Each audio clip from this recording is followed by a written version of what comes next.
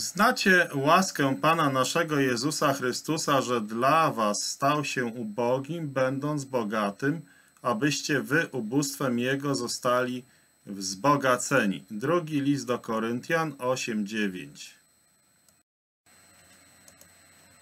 Znacie łaskę Pana naszego Jezusa Chrystusa, że dla was stał się ubogim, będąc bogatym, abyście wy ubóstwem Jego zostali wzbogaceni. Drugi list do Koryntian, ósmy rozdział, dziewiąty werset. Wy zaś wzgardziliście ubogim. List Jakuba, drugi rozdział, szósty werset. Noemi miała powinowatego po mężu swym, człowieka zamożnego z domu Elimelecha, którego zwano Boaz. Księga Rut, drugi rozdział, pierwszy werset. Zamożny człowiek, zamożny człowiek. Boaz jako krewny jest pięknym typem Chrystusa.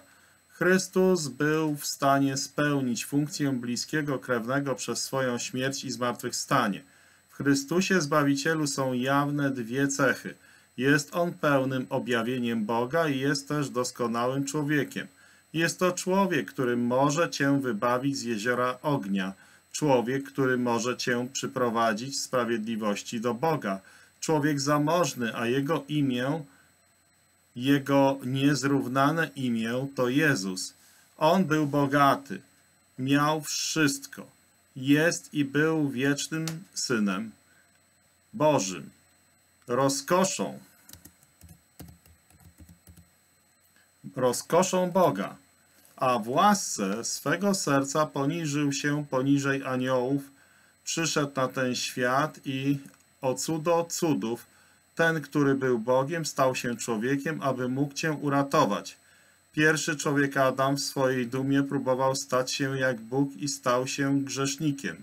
Ten, który był Bogiem, stał się człowiekiem w łasce i miłości swego serca, aby mógł umrzeć i uwolnić cię z mocy grzechu i szatana, i przyprowadzić się w sprawiedliwości do Boga.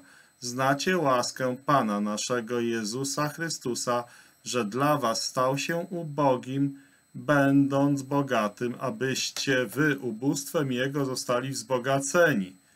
Czyż nie chcielibyście mieć Chrystusa?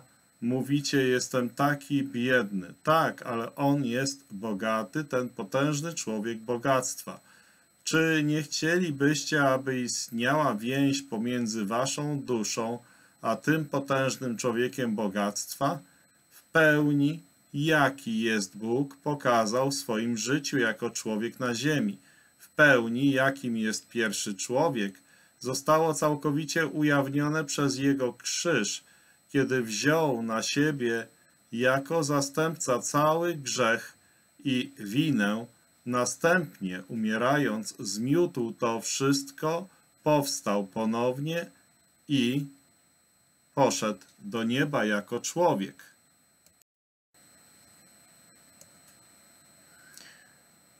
Jako zastępca, kiedy wziął na siebie cały grzech jako zastępca w pełni, jakim jest pierwszy człowiek, zostało całkowicie ujawnione przez jego krzyż – kiedy wziął na siebie jako zastępca cały grzech i winę.